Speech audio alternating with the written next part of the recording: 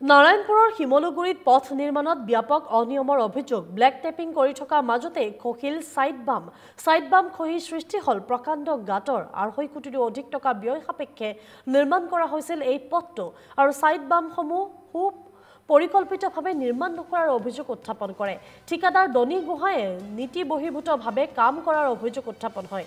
বৃহৎ বৃহৎ গা দ গাঁতৰ সৃষ্টি হোৱাত শংকিত হৈ পৰিছে এতিয়া ৰাইজ। বিভাগীয় কৰ্তৃপক্ষৰ হস্তক্ষেপৰ দাবী উত্থাপন কৰিছে স্থানীয় লোকে।